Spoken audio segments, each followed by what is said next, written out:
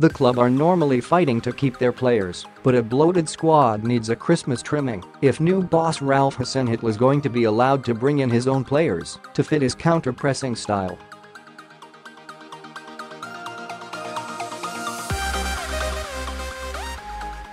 Overspending in recent windows means the Austrian will be hamstrung unless he is able to get some fringe payers off the books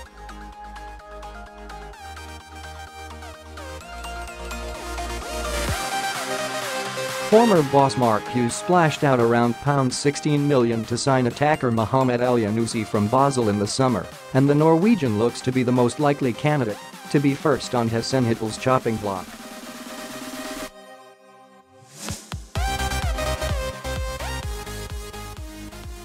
However, with Elyounoussi woefully out form and out of favor with the new boss, clubs are hardly queuing up to take him on a permanent basis.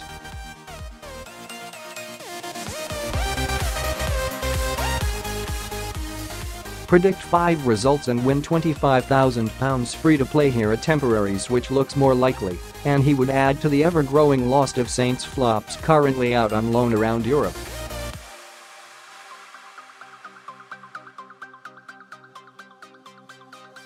Remember Sofiane Boufal?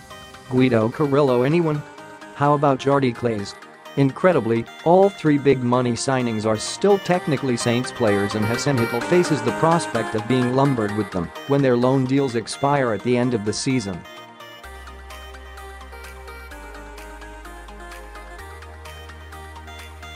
There was evidence to suggest the new boss will put an emphasis on hard work and pressing in the recent 3-2 victory over Arsenal, and it remains to be seen whether the current crop can adapt.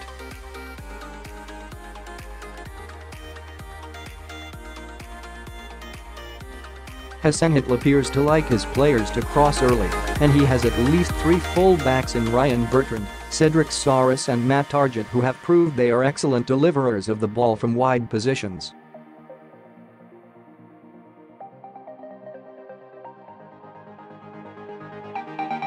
The real problem looks to be further forward.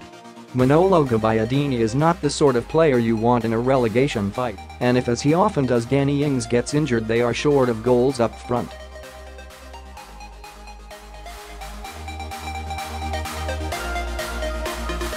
Here, Express Sport takes a look at how the winter window could go for Saints. What do Southampton need in January? A striker has to be a priority.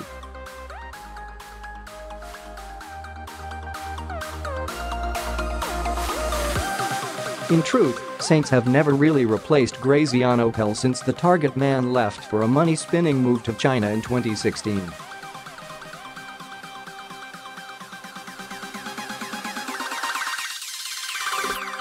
That being said, Ings has proved himself to be a proven Premier League goalscorer, but he cannot be relied upon to stay fit for the rest of the season.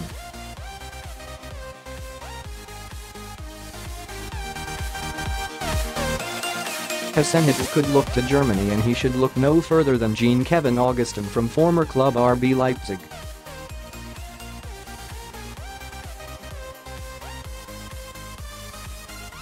Signing the 21-year-old would be a huge coup, although they might face competition from Everton, who have been linked with a swoop for the Frenchman.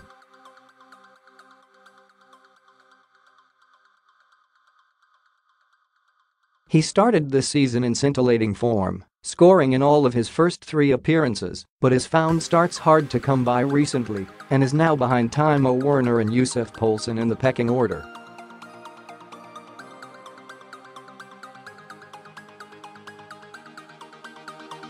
Augustin would probably cost at least pounds 30 million which means Saints would have to break their transfer record to sign him.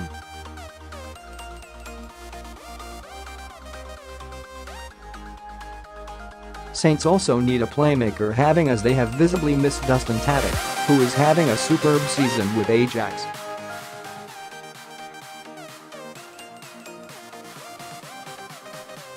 Ruben Loftus-Cheek would be the ideal candidate as his high energy suits Hasenhüttl style, and his eye for goal could help with Saints' problems with finding the net.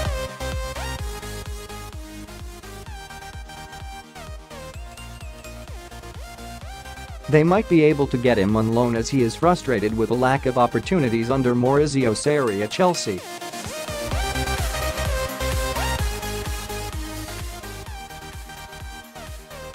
However, if he does become available, interest in the England international will be high.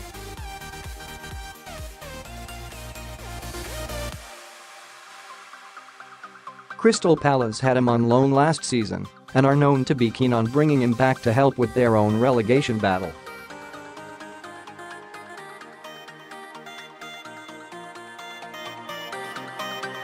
Who do Southampton need to get rid of in January? As mentioned, Elyounoussi appears to be surplus to requirements, and he does not look suited to the Premier League football.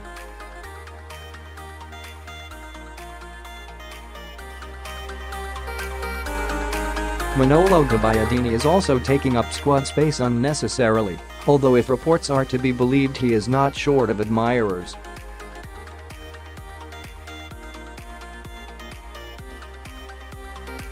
Spartak Moscow are said to be weighing you a move for the Italian, but will not pay anywhere near the £16 million it cost to sign him from Sampdoria in January 2017.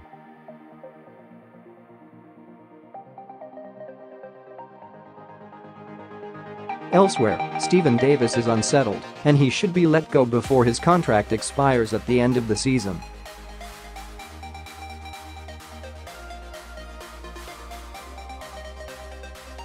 Davis is understood to be keen on going back to Rangers, and the club should thank him for his excellent service by letting him leave to get the first-team football he craves.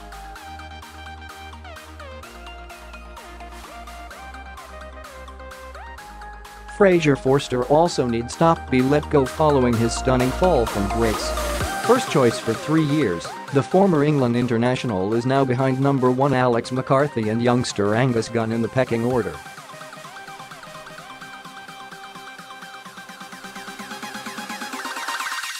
What will Southampton try and do in January? They will be actively looking to strengthen if they can get a few off the wage bill and expect Hasenhüttl to look to the Bundesliga for new faces.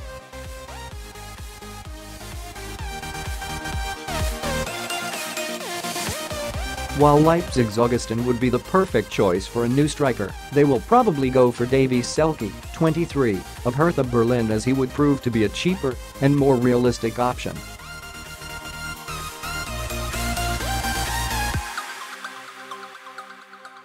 They will also try and keep Mario Lemina from the clutches of Paris Saint-Germain who have been heavily linked with him in their search for a new midfielder.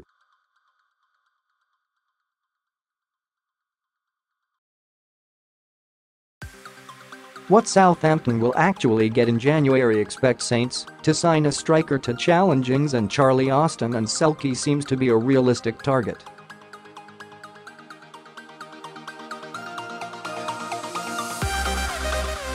Another attacker who has been linked is Pascal Gross who appears to be Hasenhüttl's preferred option.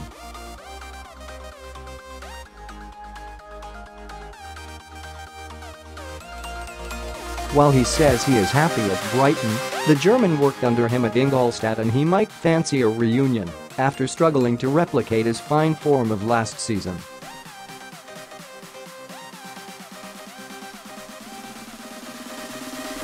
Meanwhile, Saints will almost certainly be powerless to prevent Lemina from joining PSG if they from typo their interest with a concrete offer.